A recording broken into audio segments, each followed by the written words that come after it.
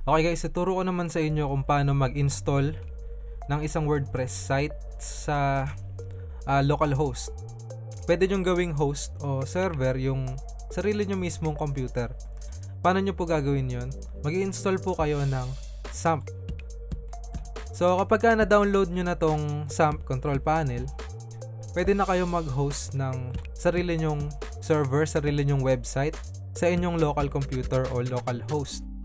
Ito yung nagko-control nung uh, server nung website mo. So ito yung gumagawa nung server ng website. O ito rin yung nagko-control ng database. Itong MySQL kapag ka ini-start nyo to. So, ang gagawin lang natin, i-start natin tong Apache para ma-start yung PHP So, gagana lahat ng PHP dun sa SAM control panel natin, dun sa server. At i-start natin tong MySQL. So, kapag ka ini-start mo tong MySQL, gagana lahat, ah, gagana yung PHP My Admin o yung database natin, yung SQL database natin. So, umpisa na natin kung paano i-install itong WordPress. So, kailangan mo muna siyang i-download. So, pwede mo siyang i-download search mo muna WordPress download. Tapos lalabas tong mga results. Tapos i-click mo lang tong download wordpress.org. So click mo yan. Mapupunta ka dun sa wordpress.org website. So libre naman i-download yan. Priceless and also free. Download WordPress and use it on your site. So click mo yan para ma-download yung WordPress. Tapos mada-download na yung WordPress file. So, hintayin lang natin ma-download yung WordPress. So, muna tayo din sa SAMP folder. Kapag uh, kinlik natin tong SAMP folder, laging nasa htdocs yung lahat ng files natin sa server. So, click natin tong ht para makagawa tayo ng isang sample WordPress website. So, gawa muna tayo ng folder. So, SAMP htdocs, gawa tayo ng folder new folder Pangalan na natin WordPress Illustrados website. Okay. So, okay, kapag tapos na yung downloading ng WordPress natin, lagyan natin siya dito sa folder. So, click natin tong folder. WordPress Illustrados website. Lagyan natin yung WordPress. Zip file. So, kailangan meron kayong WinRAR kasi i-unzip natin to kasi naka-compressed siya. Naka-compressed na zip file. Right click. Tapos, extract here. So, hintayin lang natin ma-extract. May extract yung WordPress uh, folder dito. Okay, so kapag ka na-extract na natin yung WordPress, makikita nyo tong WordPress folder. So, pwede mo na to i-delete o kaya i-save mo sa ibang lugar sa computer mo. So, case natin sa, sa tutorial na to pwede mo na tong i-delete delete natin yan delete natin yung file so tignan natin tong wordpress na file so ito dapat yung makikita nyo sa wordpress na folder. So yan na yung buong wordpress CMS so na-download na natin yung wordpress. So gagawin natin ilalabas muna natin tong mga file dun sa labas ng wordpress folder. Kasi kailangan natin kailangan ito, pagka inlik mo to at in-enter mo, dapat yun na agad yung website, yun na agad yung WordPress. So, click natin. Control A para makuha mo lahat. Right click, copy. Copy natin sa labas. Right click, paste. Tapos paste natin lahat ng uh, assets, lahat ng inclusions, lahat ng files na tong WordPress folder dun sa labas. So, para ma-access natin yung server, i-open natin yung so yun yung open nyo. Localhost slash phpmyadmin so makita nyo dyan yung dashboard nung SAM control panel natin. Okay so nandito na tayo sa localhost phpmyadmin So, kapag ka nakabukas ito, nakabukas yung SAM control panel, yung server, pwede nyo buksan sa browser itong localhost PHP my admin at lalabas dito yung database, mga databases nyo. So, ito yung mga databases ko sa mga projects ko So, gagawa tayo ng bagong database. So, itong bagong database na to, para ma-install mo yung WordPress, dito, dito mo isa-save yung bagong website database mo. Lahat ng settings, lahat ng kulay, lahat ng images, dito masisave sa bagong database na to. So, tingnan natin. htdocs, WordPress, Illustrados, website.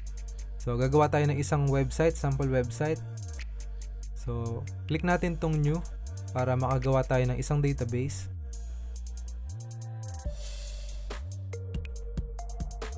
Tapos, gawa tayo ng isang database name. So, sa case natin, Illustrados tutorial DB o Illustrados tutorial database. So, wag niyo kalim wag niyo kalilimutan itong name na to. Yung database name dahil kakailanganin niyo yan sa WordPress installation kasi kailangan yung WordPress uh, kailangan yung database name kapag nag-install ka ng WordPress. So, kopyahin mo muna yan. Lagay mo sa notepad.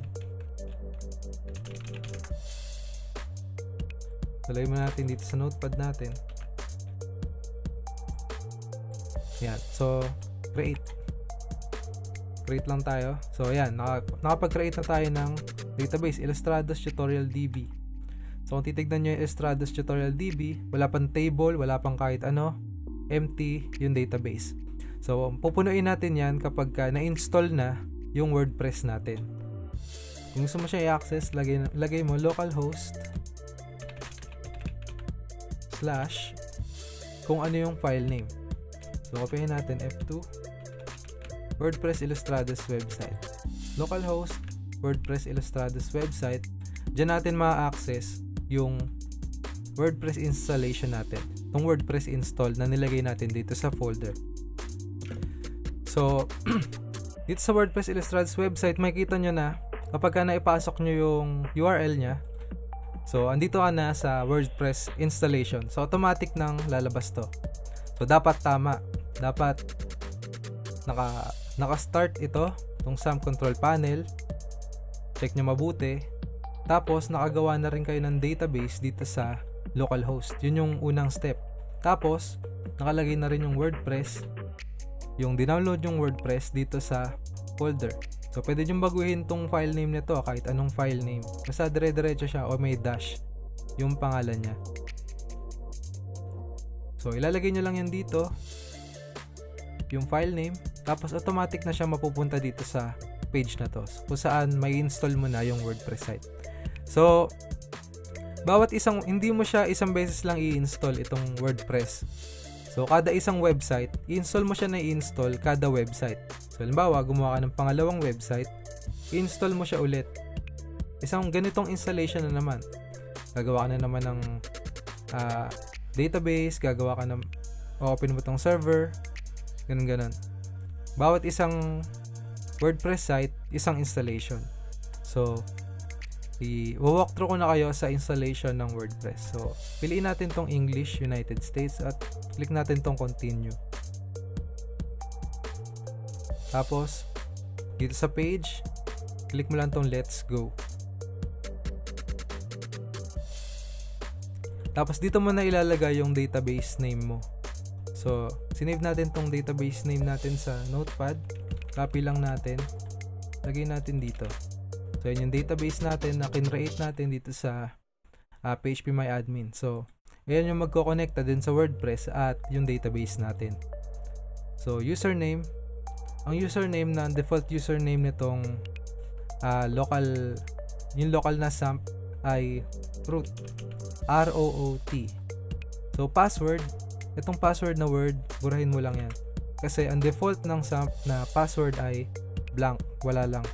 So, click natin tong submit. Kapag ka naklik mo na, click mo tong run installation para automatic na magra-run yung installation ng WordPress site natin.